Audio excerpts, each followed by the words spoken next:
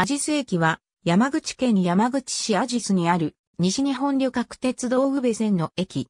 島式ホーム一面二線で交換設備を有する地上駅。駅舎は下り線の東側に位置しており、そこから古線橋がホームの新山口よりへ伸びている。新山口駅が管理し、地元自治体が駅業務を受託する簡易宅駅である。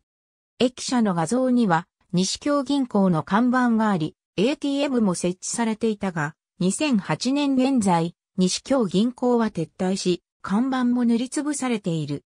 1日の平均乗車人員は以下の通りである。駅の周辺は山口市アジス地区の中心地となっており、住宅や商店が集まっている。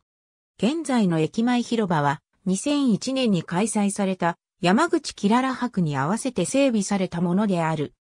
また、駅東側の国道190号沿線には、旧アジス町の特定商業集積基本構想に、基づき1992年に開業したショッピングセンターサンパークアジスをはじめ、ロードサイド店舗が多数立地している。駅前のロータリーには、愛オ方面に向かう路線バスとアジス地域内を運行するコミュニティタクシーが発着している。停留所の名称はアジス駅。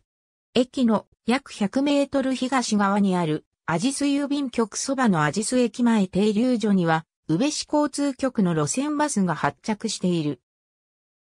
ABCDEFG ソネサトル、山口線、峰線、宇部線、小野田線、岩徳線、週刊歴史で巡る、鉄道全路線国鉄、JR 第7号、朝日新聞出版、2009年8月23日、23ページ。日本国有鉄道工事第89号、官報1950年5月8日。ありがとうございます。